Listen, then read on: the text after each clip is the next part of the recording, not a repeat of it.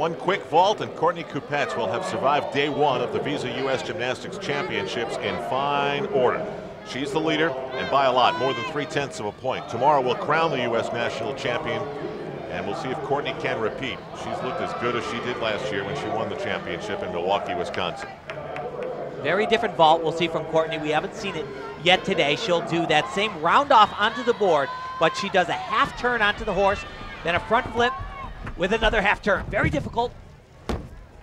And just like everything else today, it is a walk in the park for Courtney Kupets.